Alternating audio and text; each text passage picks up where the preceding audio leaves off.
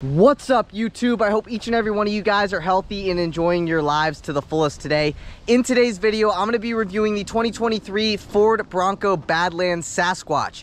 Huge thank you to Matt Newman over at Koons Sterling Ford for allowing me to do this review for you guys today. If you guys are interested in this particular Bronco or any Ford product, I'll be sure to have Matt's information on screen as well as in the description box down below. But with that said, let's get into the video. All right, first let's talk about the exterior and the performance. So like I said, this is a 2023 Ford Bronco Badlands, and this particular one has been painted in eruption green metallic, which in my personal opinion is probably one of the best colors you can choose from uh, with the Bronco palette of colors because in the direct sunlight, it's just such a beautiful color and it's a perfect color in my opinion for an off-roader. But with the Badlands, you guys do get LED headlights with automatic high beams as well as LED daytime running lights, LED turn signals, and LED fog lights integrated into your front bumper. Now working our way to the center of the front end, the Badlands comes with a carbonized gray painted grille with white Bronco lettering at the center. This particular one has been optioned with the $2,790 high package,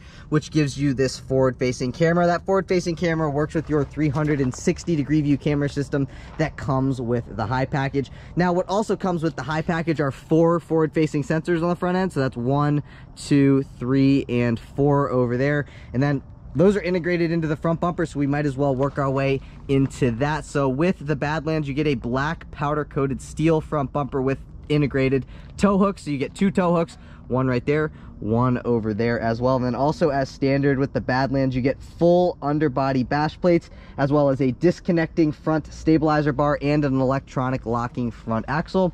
Now also like i mentioned to you guys just a little bit ago this does have the sasquatch package. And with the sasquatch package you guys get 11 and a half inches of ground clearance as well as high clearance satin black fender flares. Now, I believe as standard with the Badlands, you get a Bilstein HOSS 2.0 suspension.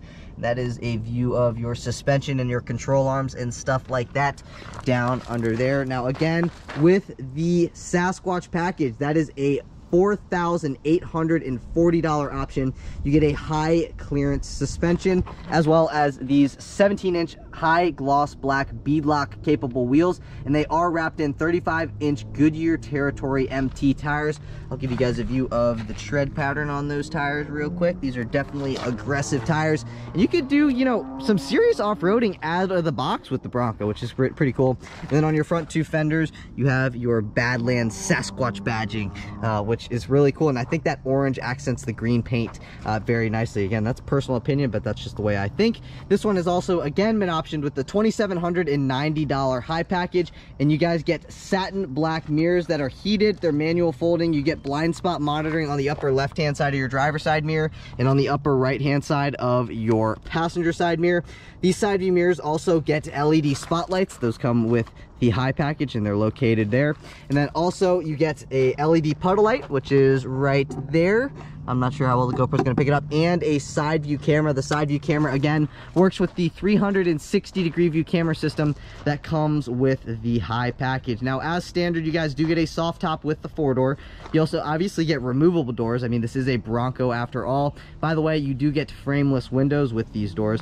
This particular one has been optioned with the $110 keypad and that is what that looks like up close. You also get satin black door handles with keyless access. Just keep in mind that the keyless access functions are only on your front two doors. And then last but not least, you get these rock rails as standard with the Badlands. So instead of, you know, high centering yourself on your rocker, you actually have these rock sliders to protect uh, your rocker. So that would be a very expensive fix, whereas this you can probably replace for a couple hundred bucks. So I'd much rather ruin the rock rail than my rocker. But coming to the back, opening this your fuel door up, 87 octane plus is uh, recommended. So you can put 87 in this, but if you guys do put premium fuel, by the way, the motor does make just a little bit more power and there's a cool little Bronco Easter egg in your fuel jar. But coming to the back, you guys do get LED taillights as standard as well as a full-size spare tire. One thing that's pretty cool is you get a 150 degree opening tailgate and this handle also has the keyless access function. So opening this up, I'll show you guys how far it actually opens up. So to about right there, you, you see like this thing really, really opens up pretty dang far. And then with the soft top, you have to unlock this thing here uh, and another one over here to get this top piece open. But I'm not gonna do that because, you know, whatever. This particular one also has the $160 all-weather floor mats, which is what these are here. One thing that's pretty cool about the Bronco is that up top here, you have a bottle opener integrated into your structural pieces uh, on the roof. And then you have a 12 volt power outlet, a LED dome light, and then underneath here, you get a little bit of storage space in your jack and stuff like that. Uh, but yeah, that's kind of about it for that trunk area. I would say you could probably stack, you know, five, maybe six uh, carry-on suitcases in the trunk so honestly for what this vehicle is you have a ton of storage space back there and then you also have the accessory ready i believe you can set like a table on here if you guys do get the table accessory i think that is really really cool but closing that back up you can see that is where you will find your Ford logo. And then let's do a little booty shot. You have your little Bronco emblem on the right hand side of that tailgate. And then you have your backup camera at the center of your spare tire. Then coming down just a tad bit more, you may be able to hear, you get a powder coated black steel bumper with four integrated sensors back here as well. You also get two tow hooks, one there and then one over there. A single exit exhaust. You also get a 470 rear axle ratio, which is also an electronic locking rear axle. By the way, again, you do get that Bilstein suspension back here as well. Give you guys a little view of that from the back. And then here from the front, that is a look at that. Let me know what you guys think of the 2023 Bronco Badlands with the Sasquatch package in the comments down below. But with that stuff out of the way, let's move into performance. Popping open that hood reveals that standard 2.3 liter EcoBoost inline four cylinder that makes 275 horsepower and 315 pound-feet of torque running regular fuel. But if you guys run premium fuel, you can make 300 horsepower and 325 pound-feet of torque. This particular one has been optioned with the 10-speed automatic transmission, and with the automatic transmission and this motor combined, you can get a 0 to 60 time in 7.3 seconds. If you guys were wondering about fuel economy, you can achieve 17 miles per gallon in the city, 17 miles per gallon on the highway for 17 miles per gallon combined. I know those fuel economy numbers aren't that great, but the reality is you know, this thing isn't built for fuel economy. This thing is built to be a great daily, but also to be very, very capable off-road. But if you guys are enjoying the video so far today, please be sure to give this video a big thumbs up. Please hit that subscribe button. I am now on my journey to 100,000 subscribers, and I cannot get there without your guys' help. So again, if you guys have taken anything from this video, please give it a thumbs up. Hit that subscribe button. That greatly benefits my channel, so I would really appreciate it. But let's move into the interior. Moving on into the interior, like I mentioned to you guys earlier on in the video, you do get keyless access. So all you got to do is have your key fob in your pocket, walk up to the vehicle, put your hand behind the door handle, and the vehicle will unlock. You can also lock the vehicle by pressing that button right there, and now the vehicle is locked. Another way you can get into the vehicle is by remembering your key code, type in the key code, and that will also unlock the vehicle. And obviously, you can unlock the vehicle from the button on the key fob.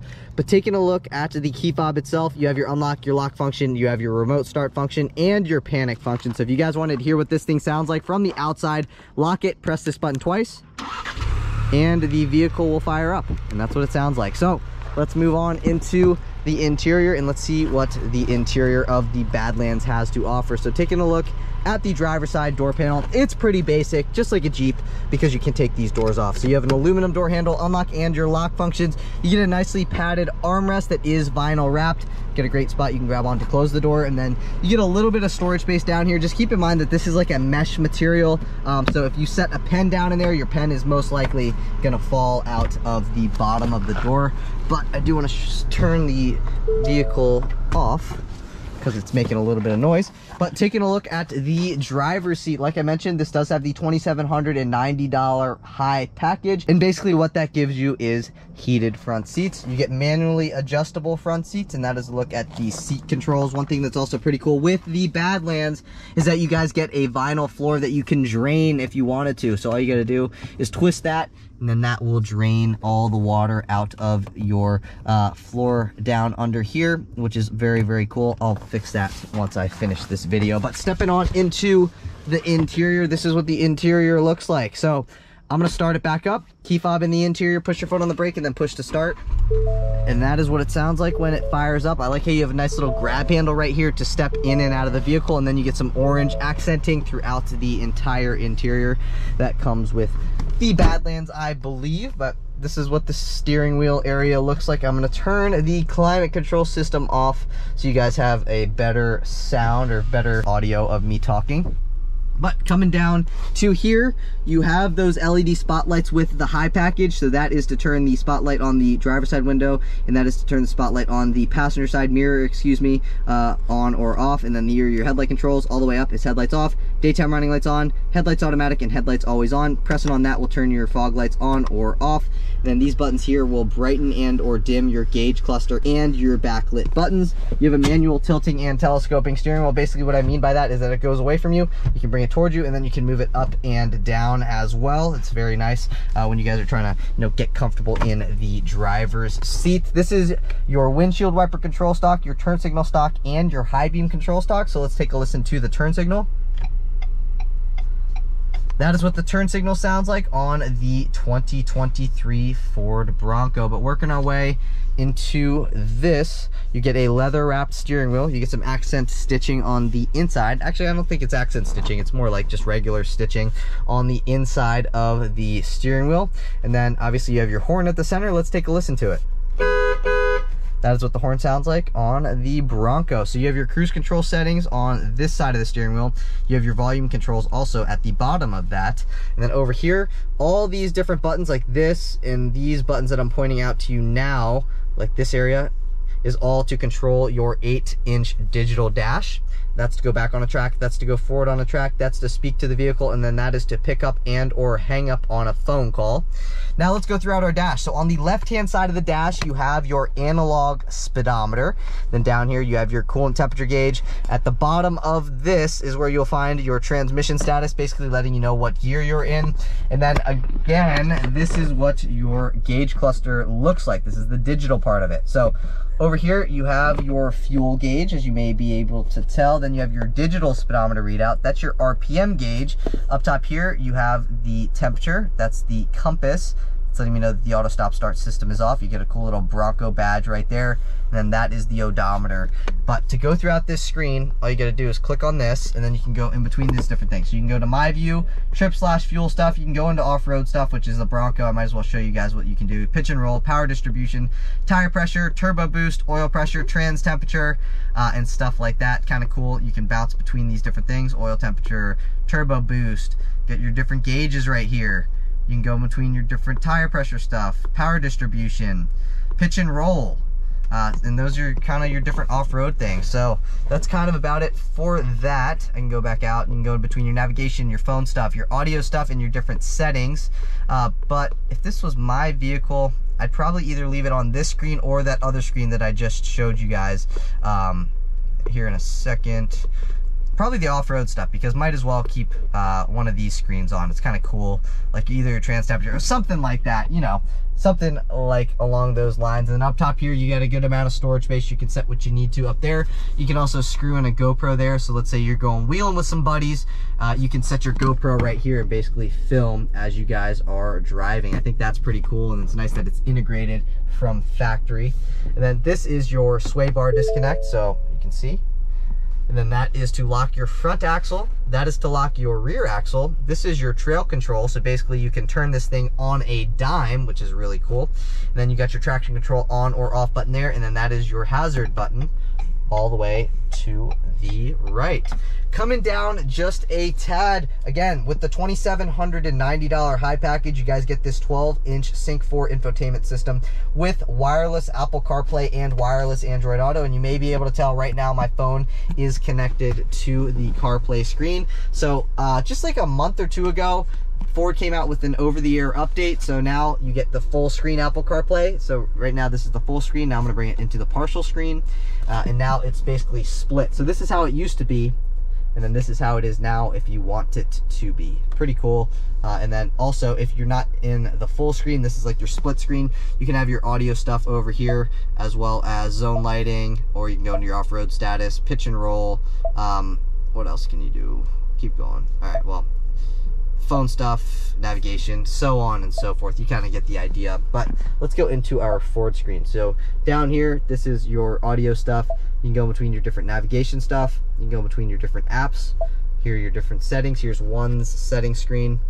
This is your second setting screen, and then you can go between your different features. Basically, you have your zone lighting features. I'm going to override that, uh, and you can turn the zone lighting on, close, and I'm going to turn all the zone lighting system on so you guys can see what that is like. So you got your spotlight there. I hate that, that Ford does that. But you guys, all your LED lights are on up top here. That spotlight's on. This spotlight is on, and then your reverse lights and your uh, license plate lights are on. Reverse light, reverse light, and your license plate. So basically it turns on all the exterior lights. It's actually a pretty useful feature if you guys, you know, live in the country or go out to the country or do some camping or something like that and you need uh, like a illuminated area around you. It is actually a very nice feature. I used to think it was a gimmick, but it's really not. It's actually very useful. And then here are your different driver assistance settings. I always like to show people this. This is one of the driver assistance screens. You can come down a little bit more and driver alert. So those are your two screens. Coming back out of that, that's your time that is your temperature over there, ambient exterior temperature. Uh, and that's kind of about it for that screen. I could spend more time on it, but that'd make this video rather long. And then you get your volume knob, you have your tuning knob. This will pop up your 360 degree view camera system. You press that button again, it goes back away. That is to turn auto stop start on or off. You can turn your parking sensors on or off by the push of that button. That's, that's to go back on a track. That is to play or pause on a track, and then that is to go forward on a track. With the high package, you guys get dual zone climate control. So you get your temperature readout there and over there as well. So dual zone climate control. And then also with the high package, you guys get heated front seats with three levels of adjustability, which is also very nice. And then coming a little bit more, you get a USB-C port and a USB-A port, as well as a good amount of storage space down in there. You get this cool little plaque that lets you know that um, it was designed and engineered in Dearborn, Michigan, and it was built at the Michigan Assembly Plant. You also get a little Bronco uh, insignia or badge on your gear shifter.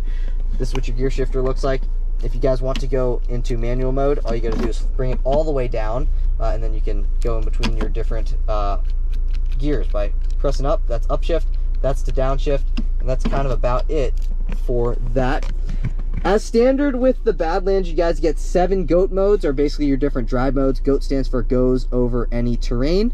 Pretty cool. And then you can go between the different ones. So you got normal mode, you have eco mode, then you have your slippery mode, you have your mud slash ruts mode, you have sand, then you have Baja, and then all the way over is Rock Crawl. So pretty cool. I'm just going to leave it in normal because I'm not going to do any off-roading here. Uh, but that is two-wheel drive high. That's four-wheel drive automatic. That's four-wheel drive low, and that is four-wheel drive high. Obviously, you have a two-speed transfer case, and then pressing on that button right there is trail control enabled. So you can turn trail control on or off by the push of that button. Basically like an off-road cruise control kind of thing. Uh, easiest way to describe it. But you get two cup holders there, and then you get automatic up and down windows at all four corners. That is to restrict your passenger window privileges. And then these are your power side view mirror controls because after all, you can take the doors off of this thing. Um, so you still want to, you know, have control to your side view mirrors if your door is off. So that is why they move that stuff uh, down to here. Opening up your glove box, let's see you get a decent amount of storage space down in there. Honestly, more than I was expecting. I would say, you know, about 50% mm, of my forearm fits down in there, and you also get a 12 volt power outlet. Uh, and then you also get this divider down in here, but I'm gonna let the owner mess with that. I'm not gonna I'm not gonna put the divider in for him or her. They can do that themselves. Then you get your Bronco lettering on the passenger dash about right there. You get a lockable lower glove box, and that is what that looks like and then you get another grab handle on that side. You get an auto dimming rear view mirror. I believe this auto dimming rear view mirror comes with the high package. I'm not 100% sure, but I'm pretty sure. Um, but then the driver gets an LED light, the passenger also gets an LED light, and then you have these six different auxiliary switches with the Badlands, which is also really sweet. So if you guys have six different light bars, you can open up or uh, turn on those different light bars individually with these six different buttons. Just keep in mind that when you turn them on, they light uh, up in amber to let you know that they are active. And then you get this visor here. This guy's doing some donut stuff.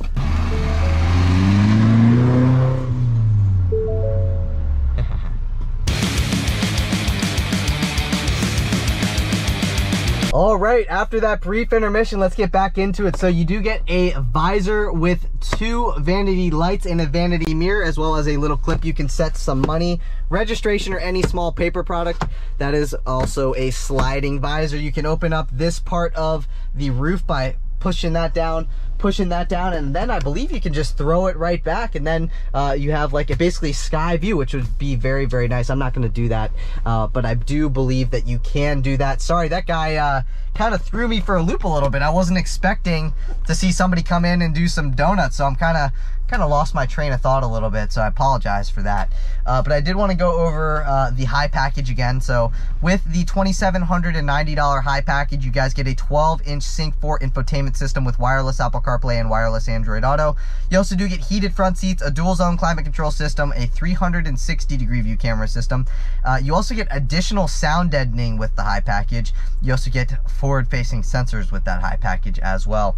Now I am going to throw up the entire window sticker on screen so you guys can take a look at all the optional stuff, all the standard stuff, the warranty stuff, basically whatever you want to look at. But basically, I'm just going to highlight the MSRP. So the MSRP of the way that this particular 2023 Ford Bronco Badlands is spec'd is $58,130. I know that's a lot of money, However, you know, this thing's an out-of-the-box off-roader. It's pretty quick, honestly, and it's just, it's a way better daily driver than a Jeep Wrangler. Just something that I've noticed from driving Jeep Wranglers and this, this is just, it wins on driving on the street 10 times out of 10. Yeah, the Jeep might be a little bit more capable off-road, uh, but if it was mine and this was gonna be a daily driver, I'd choose the Bronco personally.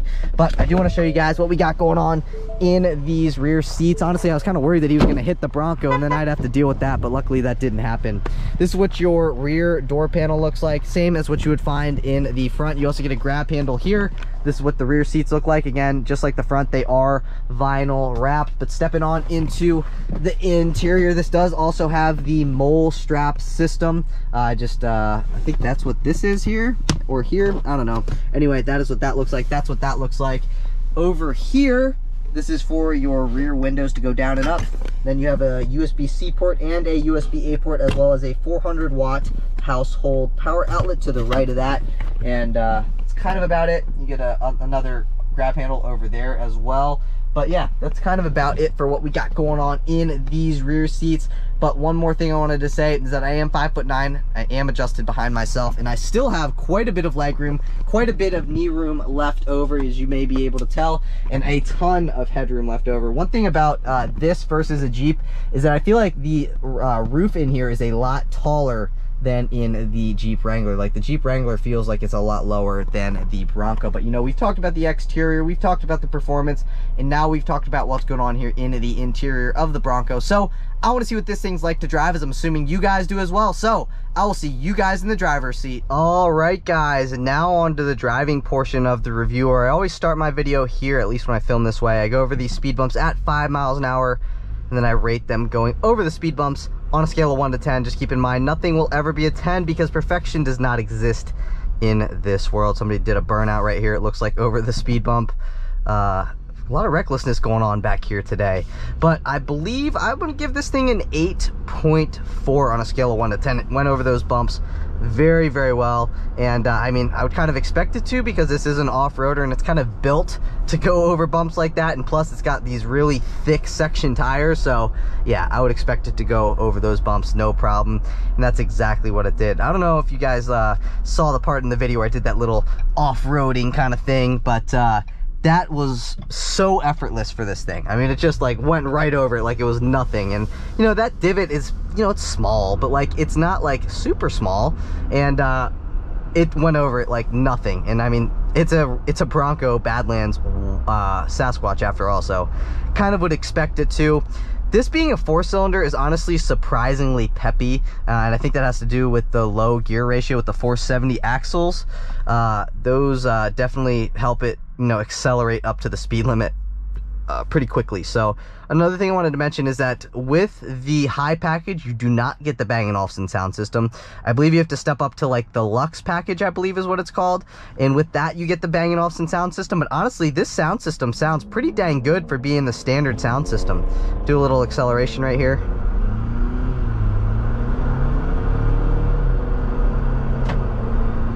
Once you start getting into boost, it really starts to uh, pick up speed pretty well.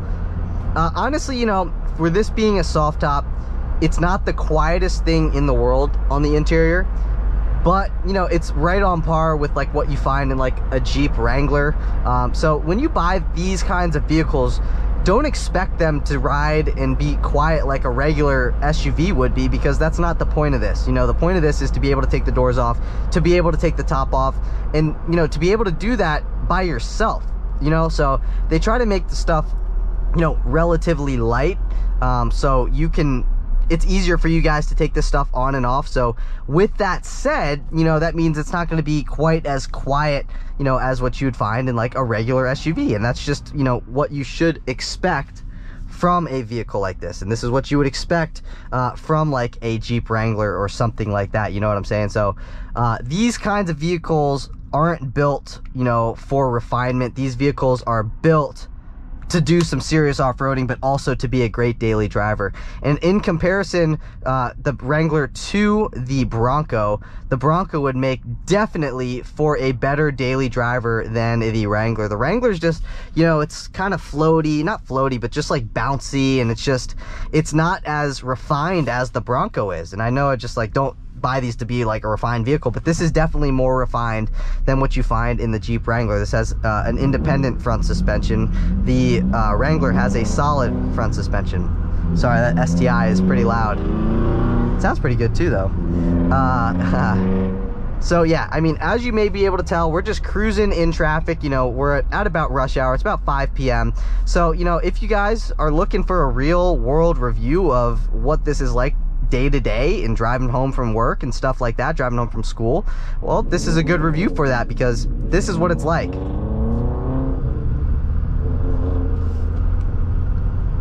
You know, you got that easy power to get you from stoplight to stoplight. And if this 2.3 uh, liter four cylinder isn't enough for you, there also is a two optional 2.7 liter V6 that has uh, a little bit more power to get you, you know, up and going a little bit faster if that's what you want. But I'm gonna give you guys a couple seconds to hear what it sounds like cruising at about 50 miles an hour.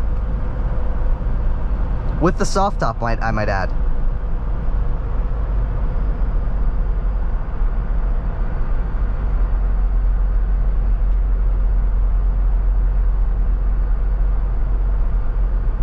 Going over a little bridge.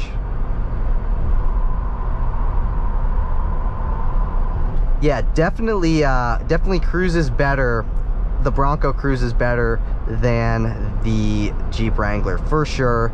It's just, it's a smoother ride. There's not so much like you know, bouncing and uh, swaying side to side is what you'd find in like a Wrangler. And the new Wranglers are better than what they were, like especially the JLs are definitely better than the JKs. The JKs, man, I did not like the JKs. They were just way too bouncy, uh, but the JLs are pretty good. But in comparison, uh, the Bronco is just, it's better. It's It would make for a better daily driver than the Wrangler would be, you know?